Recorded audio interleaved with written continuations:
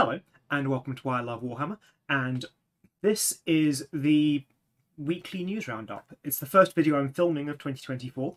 Not the first video to go up of 2024, but so this series, um, planning on making it once a week, go through all the Warhammer community articles that have been uploaded in that week, and so that you know, we can get hyped about stuff together, but also doing it all over the course of a week so, so that we're not so, so that we can kind of pace ourselves a bit with that hype.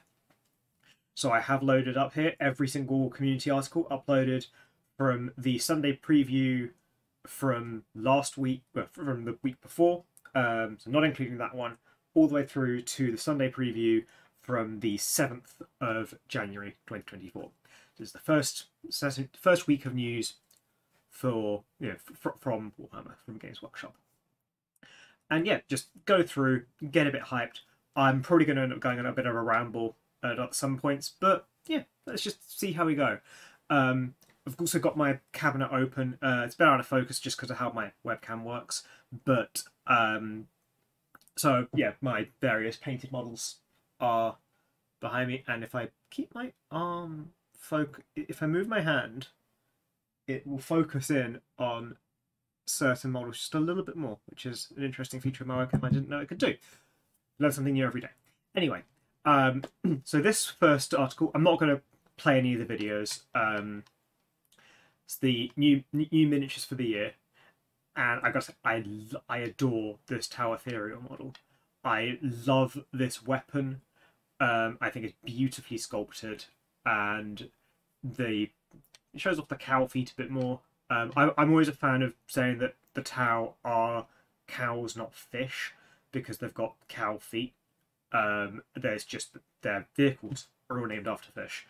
Um, but what I love with this model mostly, I love that weapon. It's a melee weapon, which, you know, Tau need a bit more of. Um, as much as Tau are a gunline army, their ballistic skill, last I checked, was still three up. So they're not the most accurate marksman out there for a gunline army. And but I love this pot. I think this thing here just adds to so much of the lowercase e ethereal nature of the Tau Ethereals. Um, at least for me, I adore the red. Um, yes, it reminds me of the Farsight Enclaves, but it's just so pretty. And uh, I know some people uh, really don't like the the, the cloaks that they do for Games Workshop. I adore them. Um, a, I think they look really cool. They add a bit of gravitas to the model, but also as someone who's trying to, I mean, I say, I say most people in this hobby are continuously trying to improve how they paint and what they paint. Um, I find personally that cloaks are a really good way to do that because trying to pick out the colours and get that tone really makes it you can really show off at least I find for me, I can really show off my painting when it's done as a cloak. Um, the Fyreslayer dude from Age of Sigmar. I'm a huge fan of Age of Sigmar. I, I love the aesthetic. It's a surprisingly hopeful world. Um, and I'm a sucker for dwarves, and I've got a thing loaded up where I'm going to. I, I know I'm going to go on a ramble about how much I love dwarves, fantasy dwarves. Um, Fyreslayers don't do it for me. Um, but to be honest, as much as they don't do it for me, anytime I'm trying to get someone into Age of because they've said they don't really like, if someone doesn't like the aesthetic of 40k, but I still want to get them into the game, um, I, I, I go, okay, let's try you out on Age of Sigmar. And I always start with the Fyreslayers because I find them funny. Uh, they're a bunch of Okay, I don't know too much about the lore of the Fyreslayers. That's a gap in my knowledge. But from a pure aesthetic standpoint, they're a, they're mostly naked dwarves. That's funny to me. I think that's really funny. Um, I maybe it's from the berserk Viking roots of how that's been popularized in media, but they're funny. They're dwarves. They've got big axes, and they've got the Magmadroths that I think are really awesome. So yeah, huge fan of the Fyreslayers in that regard, even though they're not personally for me. Um, anniversary extras, I do like these. I do wish that I could acquire one without having to spend increments of fifty pounds up to two hundred pounds. Um, it just feels like I'd love this bag, right? I'd love to own that bag. I'd love to take this bag with me to game with. I love this dice tray. I, I'd love to, yeah, I'd love to go to a game with this bag in tow, whip out this dice tray, and take our models out of the bag. That'd be awesome. Am I going to spend two hundred pounds to do that? Probably not. Um, yeah, I just don't think I'd spend two hundred pounds to get the bag. Um, like I'm not above spending two hundred pounds on Warhammer when I've got the money for it, but in, in one go. But just the timing for me, um, you know, timing for me is not right to try and get this bag. Uh, store find. Okay, old world, old world. So hyped for the old world. Um, so back in like 2006, 2007, um, I tried to get into Warhammer Fantasy. Um, there was a White Dwarf article, and so the Ogre Kingdoms have the Gnoblars, and there was this uh, there was this article in the White Dwarf magazine for making an entirely Gnoblar army, and I adored it. I, I was playing a lot of Moria goblins from then Lord of the Rings, now Middle Earth. Um, at the time, I I just started 40k with Night Lords from Chaos Space Marines, but I wanted to give fantasy a go. I only had one friend who played fantasy, um, and he. So yeah, I, I saw this article about the Gnoblars, and I thought this is awesome. I want to give this a go. Did not understand the list building. Didn't get it at all. Um, I basically got one box of Gnoblars and gave every single one every single upgrade, regardless of how legal it would be for the game for the list, even by the standards of the dwarf article, and went that's two thousand points from thirty-two dudes. That's how I played it. Um, and it was fun. So I, I wanted to get into fantasy. Um, so when I saw the old world coming back, uh, I got pretty excited. Um, when, when they first announced it, it's actually when I started my Skaventide army from Age of Sigmar. Um, most of my Skaventide army are underneath the table off screen. I've got. Let's get one out. Um,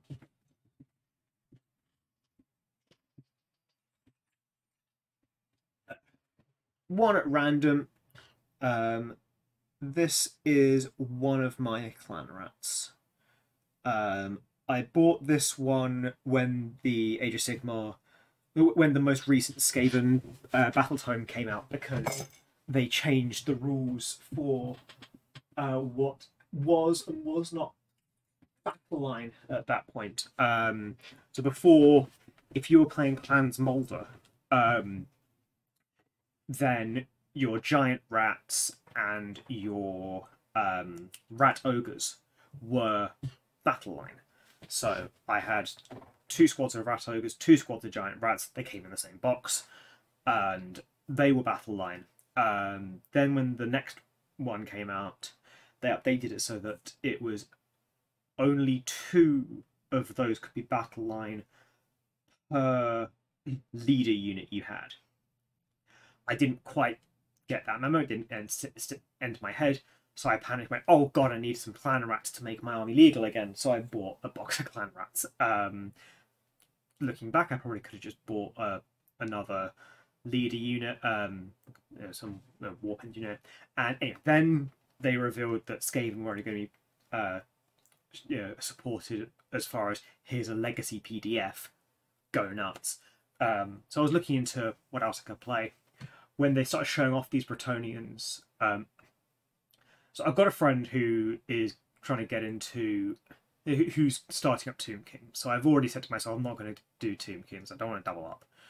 Um, also, because I was, I, I play Necrons in 40k in Middle Earth. I've got uh, Ring Wraiths, and I have Army of the Dead on order. So I've got two system, two two Games Workshop game systems where I'm playing Skeleton Warriors. I don't really want to play Skeleton Warriors a third time. Um, and I don't want a fourth skeleton army. Um, so I wasn't really looking at them. I absolutely adore the horses in the Bretonnian models. Um, but I'm genuinely torn between. Um, but the thing, I, I, I don't. I tend not to enjoy playing humans. Mostly, I hate painting skin.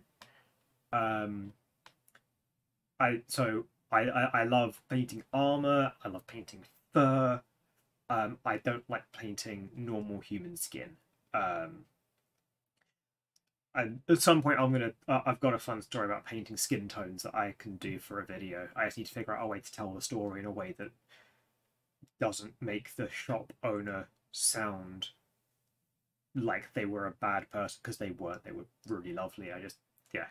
Uh, when I figure out how to tell that story in a way that makes sense for the internet, I'll tell that story about when I when I tried to you know when I wanted to paint skin.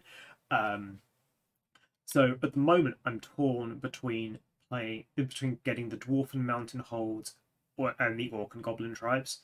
Um, the orc and goblin tribes ride pigs. I think pigs are amazing. Love me a pig. Um, and if I were to get a bigger house um, in kind of somewhere more rural, I'd love a pet pig. Because um, unrelated fact, right? This is a weird, un- unrelated ramble. Um, those like micro pigs and teacup pigs that you see on TV in poses that are like yay big, when they grow up, they're like the size of a very large dog. So a fully grown teacup pig would be an animal I'd love to have in the house. Well, no, in the garden and maybe around the house if it could be if it could be house trained.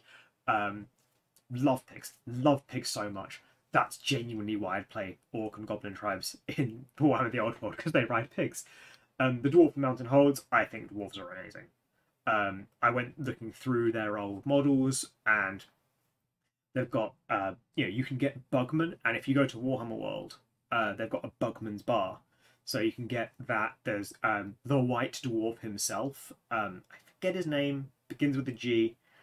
Um, I hope that he gets supported. I hope they do a model of him in plastic or something for the old world when they do the Dwarf Mountain holds because I'd love to have both of them as the kind of the general and other lead of unit in my yeah, in my Dwarf and Mountain holds army.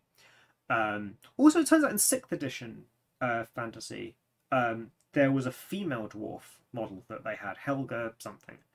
Um, I think it should be really cool to have as well. Um, and to be honest, what I do is I just say which one was my general, uh, like my main leader do, depending on if I thought it would annoy the person I was playing against. Because um, it'd be funny. But um, yeah, I think the dwarfs are awesome, and I love how um, the Iron Drakes unit, um, which I, I was watching a video where they were down as a rare unit, so only 25% of your force can be made up of Iron. But I love that they've got armor for their beards. Um, I'm excited to learn more about the the fantasy, the, the old world lore around them, and yeah, I think that'd be a lot of fun. Um, I'm reluctant to start doing a lot of research into it now because I don't know how much is going to get retconned for uh, uh, for the release of the old world. So I want to go in. I want to go in fresh. I want to go in. Not. I want to really go into the old world, not knowing much about the fantasy setting. Um, I enjoy the Beastmen. Um, I think they're neat. Um, I'd probably avoid playing as these three unless the High Elf realms have the most amazing armor. Um, which granted, the some of the fantasy sculpts did have absolutely gorgeous armor that was genuinely a it gave me pause for thought. Um, I tend not to like playing you know, factions that look like normal people, um, which is why I tend to be drawn more towards you know, Ravening Horde type armies. But then the dwarfs, so and then the horses and Pegasuses and the that gorgeous unicorn model that they that uh, Forge World are going to be doing for the old world is Mean I'd love to try and paint that even though I have a, such a hard time painting white um, but I just think that yeah the the horses and stuff in the Bretonnians made me think I might want them but I think I'm going to be holding up for the Dwarf Mountain holds Okay. Um, so this is just the free miniature for the month, and well, it's done. Um, yeah, I just yeah, it's Beastman. Um, there was a video that I was watching that really showed me how cool it is to paint fur, and fur is what converted me to contrast paints. I love contrast paints as a way of a way of uh, painting up models, and painting fur is how you do it. Spray it black, zenithal in a grey or a white, and then use your contrast paints over the top. Get gorgeous fur textures, and yeah, it's why I think Beastmen would be so cool to play. I love these Fel yeah, Felgor Ravagers. Um, yeah, they're they're really cool models, and I if I could, I might remove the tactical rock and see if I could reposition the leg. Um, but otherwise, it's a really cool model, and if you can get down and get one, brilliant. Um, yeah. Okay, more Bretonnians. Um, I love these wings. I love these wings, and I love that they're rearing up like that. Um, I think when I checked, like seventy percent of my audience is from the US, um, so maybe some of the audience don't know. There's an urban legend in the UK that um, if there's a statue of someone and they're on a ho- and the statue has a horse in that with, that pose, it means that the person that depicted in the statue died in battle. It's not actually true, but um, I I like to think this is reference to that, but I'm not gonna say it definitely is. Um, I think it's a cool pose. The wings are gorgeous. Um, if I had the money and the time, I'd love to replace all the humans with uh, like with dryads um, or lizard men or something, so that I could just have the fully. So I could get rid of the human aspect and just have the cool horses and yeah, a cool looking state, a cool looking ride for them. Um, not that they're not cool, but uh, yeah, personal taste. Um, sprues, and then the normal dudes. Um, they are cool. They are genuinely very cool, and thankfully these guys are mostly fully helmeted, uh, which does make them enormously more appealing to me personally. Um, they're very intricate. Um, they're very intricate, and I'd like to know. I, I, I found out through various bits of googling that the the Bretonnian launch box is about one thousand two hundred and fifty points. Um, I'd like to know how many points these ten dudes are because they feel very intricate and painting up ten for an army would be fine, lovely, fun project. I personally feel like if I was to try and paint up like 40, that might get a bit daunting. Um, so if you're painting up a horde of Bretonnians, maximum respect because that's something that daunt me to no end. Okay, uh, the next issue of White Dwarf. Um, I actually was given a subscription to White Dwarf for 12 months for Christmas, so I'm looking forward to. I'm hoping this is the first one I get through the post. Um, some Necron's Index stuff, which would be interesting, and a bit of lore. Um, I've not actually read White Dwarf since I was at school. Um, like I don't think I've actually read read, read a White Dwarf magazine since like 2009. So I, I I'm I'm looking forward to going through White Dwarf again. Really try and get back into it because it's it was a good resource. Um, and it was it was nice that our school library had a subscription to it. So me and my friends would sit in the li- our school library at lunch times, just going through White Dwarf magazines. Um, our library was really kind. Of if the issue was six months old or older, got to take it home for keeps. Um, so I've got various White Dwarf magazines that through that. Um, I bought a couple of issues just straight up off the shelf. Um, but yeah, I'm looking forward to the subscription for this and yeah, um, see what the Index uh, Xenos does with the Sautekh Dynasty. okay. Um, how they're writing the new lore, it's just neat. I think this is where they confirm some of the stuff that's not going to be supported. I'm not going to read you the whole article. I was genuinely surprised and didn't know that this tank is what they named Nuln Oil after. They named Nuln Oil after this tank, so that's very fascinating to me. Um, considering that based on this image, I don't really know where I'd put the Nuln Oil. I'd pr probably go with an Agrax Earthshade painting this. Um, but yeah, I just thought that was really cool. I'm not, I'm not going to read full articles on this news roundup. That's not what this is for. This is just to kind of get hype together. Uh, so yeah, they good art, long article, just going interviewing people about how they did the lore. Um, I've read some people not being too happy with how they divided these guys up, and that the Tomb Kings should be neutral. Um, I'm always a fact. I'm always a fan of a bit more nuance. I would. I. I, I possibly. I. I def. If if new. If there were neutral, I would love that. And based on people saying that the Tomb Kings are just trying to rule their own people, they're not relentlessly expansionist and stuff. And they they were initially designed to be a neutral faction. Um, I completely understand the grievance, and yes, I would love neutral factions in more things.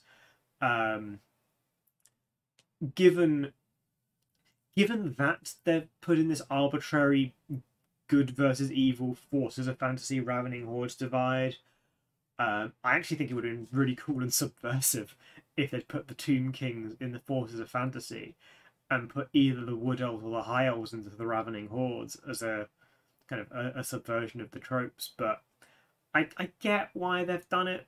People look at skeletons and think those are the bad guys for the most part so I get why they've done it, but I fully understand why some people aren't going to be happy that they've done it.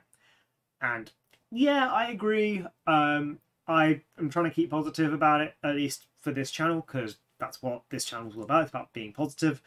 Um, so yeah, I'm I'm still going to be hyped uh, for you know for, for the Tomb Kings, and I and, and having just the two does mean that you're only if you wanted to get rules to everything, you're only buying the two books.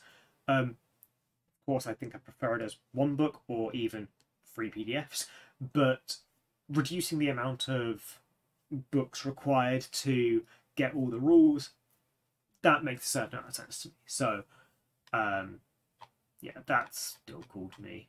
Um,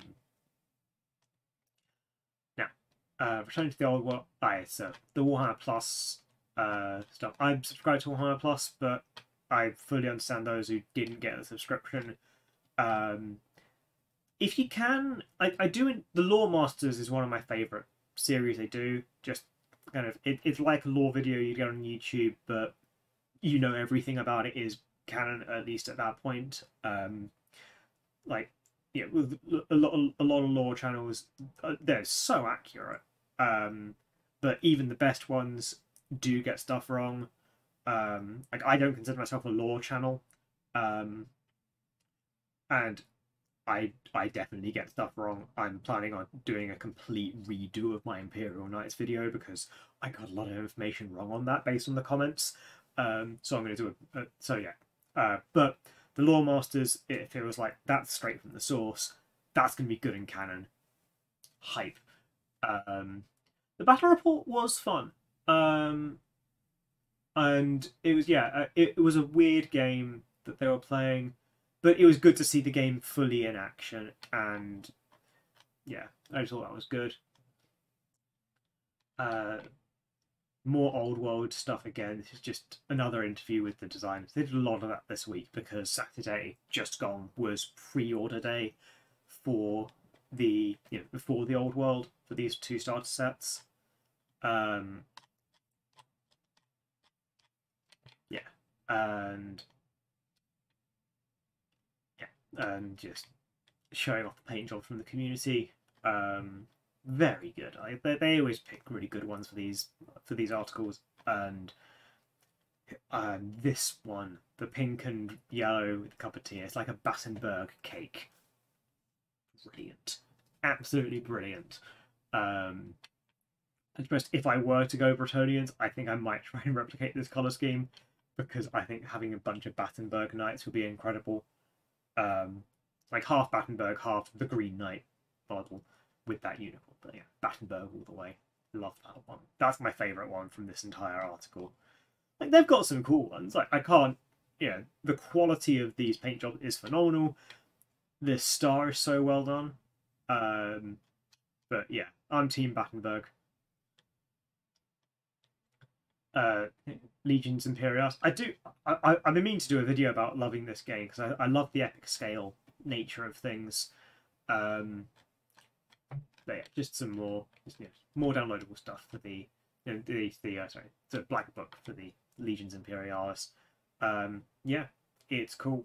Um, just knights and Titans, and I do love my knights. I've got my Chaos Knights on that top shelf there. Um, it's not all of them. Those are actually the ones I don't bring to games because the ones I bring to games are in a carry case off camera. Um, more old world uh, designing and painting. I love this Sphinx thing. That's beautiful. I that's just a cool model, and uh, I feel like they could have chosen a better model than this one to start the reveals for the old world, but I do like his antlers, and it's it's still a cool sight. Um, the painting guides, I I do find it funny sometimes that the painting guides involve getting paints that would cost more than the model. Um, because, oh dear God, like I don't think I'd use this many paints. I don't own this many paints. Um, but yeah, if that's what it takes to get this paint job, damn.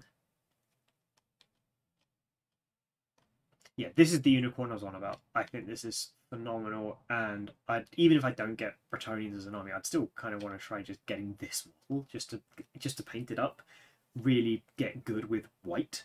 Um, because I love it. It's I, I love the kind of Shire horse hooves. It's the really old world kind of not old world like Warhammer the old world, but um, before unicorns became really pop, uh, really kind of focused in on pop culture, um, they were you know they, they weren't so cutesy. They did have the beards. They had the the, the, the fur on their hooves, and it, it was a different kind of creature. They were very they felt like a deeper old magic than kind of yeah friendship is magic my little pony type unicorns and the unicorns getting pop culture. Unicorn if you type into your gif keyboard um you know unicorn not like those this is like a proper old magic type unicorn. I'm, I'm all here for it.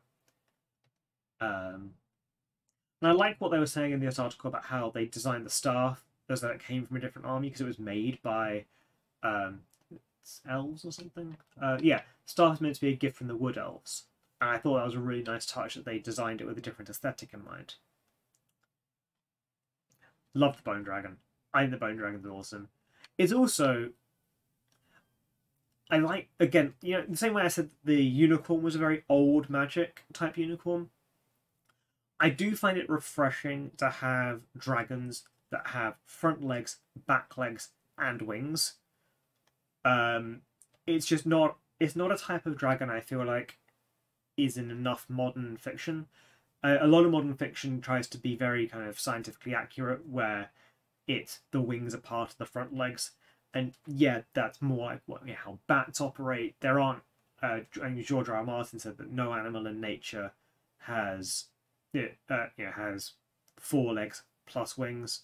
Um, but I'm all here for it. I I love the I love this type of dragon rather than the kind of the wyvern style dragons that are more prevalent today. Um, so I like wyverns too, but I always want more stuff. I want more media and more dragons like this, as well as more wyverns. So yeah, very happy about a dragon like this being in the game.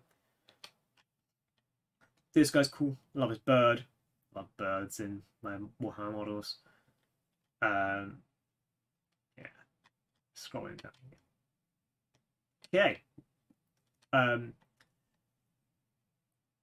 what's in the journals. Um, yeah, I don't think there's much commentary I can give on this one. Nothing that would add anything too meaningful. Um, this I'm excited by.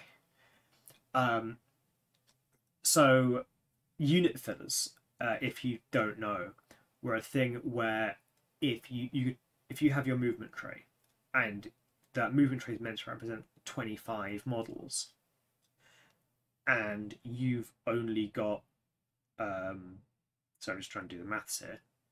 Five, five, three. So if you've only got 16 models and you want them to represent 25 models, you put a unit filler in the middle to bulk out the squad. And back in Warhammer Fantasy times, that was just a given. That was like, yeah, fair enough. That's 25 models even though you only own 16, it's 25 models, and you move, you know move stuff strategically, and you still play the game. But I think there's a couple of things I think this represents for Warhammer: The Old World that I really appreciate, um, and it's and and I think what I'm excited by this because this article being on the website suggests that this is being officially endorsed. Because what's the biggest stopper? What's the biggest thing that stops people getting into this hobby, right? Um, it's going to be price, right? The money. This is not a cheap hobby to be into, right? Um, and if there's anything you can do to make the hobby cheap so you can have your full 2000 point army but having spent less money suddenly the game's so much more accessible. But i also completely understand people who like to have the full immersion of the game. The whole wizzy what you see is what you get. Um, it's a stat i try and hold myself to the WYSIWYG standard um, so every model I'm playing with um, will be. I try and make it WYSIWYG. What my opponents play, for me personally, I don't care. You want that mug to be a Myphitic Blight Hauler? Bring it on. Um, but that's yeah. But I know people do really appreciate WYSIWYG. They love that immersion. Unit fillers do is you are still playing WYSIWYG, because that squad is all there. There's just a unit filler in the middle. So it's part of the unit, it's part of that squad. So it shouldn't break any immersion. It looks like it belongs. But it has that benefit you get from a certain level of proxying where you're not having to commit as much money into the hobby to have your full squad. They are also incredibly creative projects, right? They uh, these ones are. Uh, I think someone mentioned in a in a comment that they use some of the Spirit Hosts kit to build this one. Um, and I yeah, that level of creativity means that you can build out a unit filler that means that is beautifully creative. It's an extra part of the hobby, more fun to be had while creating your lists, but retains that immersion and lowers that barrier to entry for the game. The lower that barrier to entry for the game, the more people are playing it, the healthier the hobby is, in my view. And so I was so psyched to see this be endorsed, to see this being officially endorsed by game, you know, by Games Workshop, made me really happy and so excited because, yeah, with these being endorsed, the game becomes more accessible, and the more people who can be playing this game, the healthier that game is. Um, I, can, I think I can just repeat that point again and again and again. If you want to loop the last one minute of uh, of this video for you know several hours, that will be the intended version of this video. Um, yeah, super psyched that unit fillers are going to be in the game. Super psyched about that. Um, more stuff from the design team. A, another interview again. I don't think I can add any meaningful commentary to this. I'd love to know how how many points this army is. Um, what I sometimes do is I count the unit. When I see a big shot like this, I count the units to see if I wanted to replicate this army, how many model, how many boxes would I have to buy? Uh, one, two, three, four, five, six, seven, eight, nine, 10, 11, 12, 13, 14, 15, 16, 17, 18, 19, 20, 21, 22, 23. So this to me looks like 24 boxes of models to achieve this um, this Tomb King's army. Um, I want to know is that 2,000 points? Is that 3,000 points? Is that 10,000 points? Um, yeah, just because you know I love battles this cinematic, but I want to know what the commitment would, would need to be for it. Okay, the legacy factions. Um, I'm not going to focus on this too much because I want to stay positive on this channel. Um, suffice it to say, the my four favorites, uh, my four favorite factions didn't quite make the list, and the Gnoblars from my first attempt at getting into fantasy did not make the list. Um, I'm still hyped the models about the ranges we are getting. Let people who can let people who are happier doing the negative stuff than I am talk about the legacy factions stuff. That's not my role. Um, I'm excited for the dwarves. Very excited for the dwarves. Very excited for the goblins. Love my goblin. Love love me some goblins. Uh, okay, Saturday pre-orders. There's the old world boxes, um, the rule book.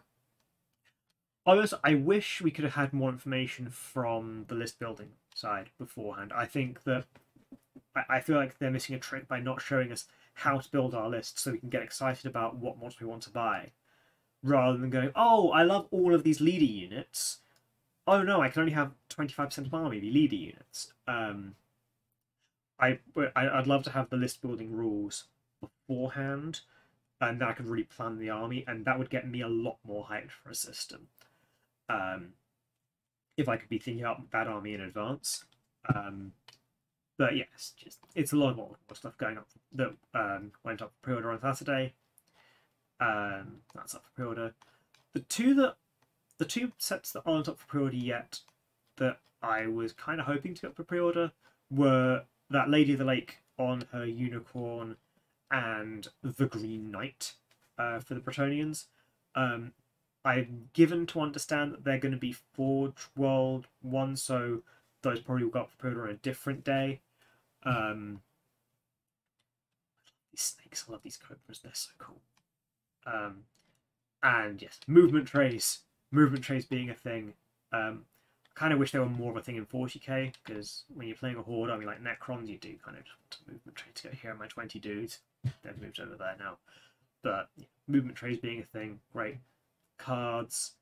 Um, them selling card sleeves. It's a trick that they've been missing up till now. I like the fact they're they're selling card sleeves. Um, I think for 9th edition 40k, I was buying like Magic the Gathering card sleeves for them so that I could keep them safe. Um, and for my Chaos Knights, I actually bought the small, the tight fit sleeves so I could double sleeve them for maximum protection. Um, but I'm, I'm, I'm glad they're selling card, card sleeves. I mean, yes, it will probably be cheaper to buy non Warhammer card sleeves, but the fact that they've got images on them would would tempt enough people that I think it's a savvy decision they've made. Um, I didn't say consumer friendly. I said savvy. Um, the dice, cool. I've got they've got scattered. I, I, I love scattered dice back in the day. Um, I'm, I'm, I'm glad they're back in this system, and I know they, they've remained being back in Horus Heresy for a while. Uh, Map of the Old World. And then um, Boys, I got this one back in like 2017. Same for that one and that one. I, I do enjoy um, yeah, I, I, I, I love this one, this Huron Blackheart. It's um, I never got this one because I didn't play Red Corsairs. Um, I want to do a lot more research into the Red Corsairs so I can do a full Why I Love episode about them. Because based on Huron Blackheart, they're going to be a faction to love. But this dude from the Iron Warriors and this Overlord. I never bought this sculpt of the Overlord because I have other Overlords. Um, but he is cool he is a cool sculpt. Um, but uh, yeah, and he's being made to order. If you think this one's better than the other Overlord sculpts, then more power to you. Um, I think. Um,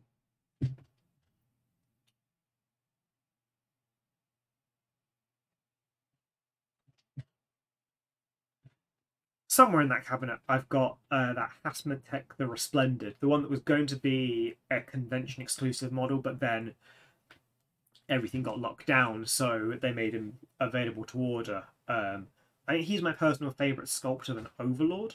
Um, I'm just going to try and get him. Um,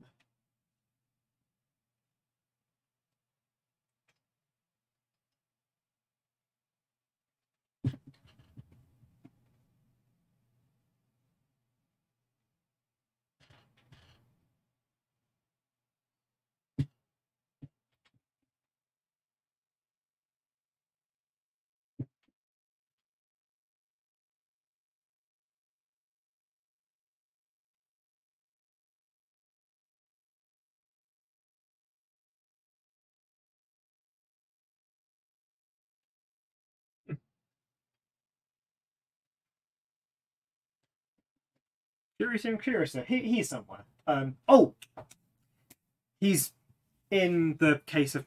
Uh, he's in the list of uh, Necrons. Actually, I want to choose my favorite sculpt. Um, but I, to be honest, I, I think I'm going to start using Nemesor Zahndrekh as an Overlord. I love the sculpt, and he got taken out of the 10th edition Necron Codex. Might as well play him as an Overlord now. Um, so yeah, Necron Overlord, cool model. Um, the Seraptek Heavy Construct and the Pylon Thunderhawk. These are all cool sculpts. I I don't know if I'd ever personally own the Seraptek Heavy Construct. I just feel like it's a lot of points, a huge project, and I don't know. I, I don't think I could ever really see myself building one. Um, be cool to own, but um, yeah, I, I, I don't know if I could bring myself to put the money down for it. Same for the pylon. I love this sculpt. I think it's beautiful. I just don't think I just can't see myself putting the money down for it. Um, I, I, I used to be part when I was still on Reddit. I used to be part of the Necrontyr subreddit, and it seemed like every person in that used a Seraptek heavy construct for their army. Um, love the pylons, but I, I also really love my maneuverability. Maybe if I was to make a fully gun line list, I might proxy one of these in, see how it plays, and maybe then put the money down. But um, yeah, uh, not a cool Horus Heresy. I love these dioramas. I really love the diorama bases. Uh, I think they're just really pretty some Warhammer the Old World Black Library stuff. Um, Gotrek Gurnisson. Actually, um, I play for um, my current Dungeons and Dragons character is low key based, but basically I you, wholesale took Gotrek Gurnisson's backstory. Um, I yeah, I thought that would be. I just thought it was a really fun backstory idea, so that's who I'm playing. Um, uh, stuff from the end times, uh, some audiobooks. White Dwarf covered that, the White Dwarf one, and final one, see uh, Sunday preview. Trugg the Troggoth King. I love the Troggoths. I love the mushroom aesthetic. I think he looks really cool. I love this kind of pseudo gorilla arms he's got, where he's kind of supporting his weight on them uh, kind of makes them look kind of partly bipedal, partly quadrupedal. Um, I Cryptborn. I love the dragons in Age of Sigmar. They're so beautiful, and I love the idea of painting up these scales. I would so have an entire dragon army in Age of Sigmar if I could. Um, yeah, I love this sculpt. I love this dragon so much. Um, also love that cockroach, and yeah, Belthanos, just so beautiful. I've seen some videos of uh, what Belthanos used to look like back in Fantasy, um, so I fully appreciate that it's a different looking dude, but on its own, I you know, out of context, this is such a beautiful model and a detail, the, the, the sheer I want to say carpentry, but it's, it's a it's a life form of this insect is so beautiful to me. I love the ethereal green that you have in these um, Sylvaneth models. I love that. It's so beautiful. So, so beautiful. Blood Bowl. Love Blood Bowl as a game system. I love the idea of just American football in fantasy setting. I also love how it's very clearly American football as viewed by a Brit because like I don't know much about American football. I see I look at American football and even though I understand rationally that it isn't just a more violent version of rugby, it kind of looks like a more violent version of rugby. So I can so the origin of Blood Bowl from that perspective I think is phenomenal. And I also love the fact that Nuffle is the god of Blood Bowl um, and I always think of Nuffle as being the most powerful god in in the Warhammer systems. End of the volume three. I'm looking forward to this. I want to see how they do it. Um, like we all know what's going to happen, but it's how it happens. Like, we all know it's going to end. with you know, Horus slay, you know, Horus slays, slays Sanguinius. Emperor slays Horus. Mortally wounded on the Golden Cool. We know that's been established lore since fourth edition, right? Le- well, I say fourth edition because that's when I got into the game, not that's when that lore started. Um, so yeah, we, we, we, we know how it's going to end. We want to know how we get there. That's the deal here. Um, and this is a beautiful version of this book. That is genuinely phenomenal. Um, also, Games Workshop, they're really good at these metallic uh, pages. Um, for the most recent Necron Codex, now. Um, but yeah, for the most recent Necron Codex, they did metallic green for the collector's edition codex, and it was really beautifully done. So the quality of this, I know, is going to be amazing. Um, they did the leather map for um, for the Imperial Palace, and again, so and that was really high quality as well. I've got one of my own, um, so no doubt about this being an incredibly high quality product. And then paperback version, Siege of Terra bookmark looks cool, and then the three videos for Warhammer Plus this week. Some more lore masters. They've really been doing a lot.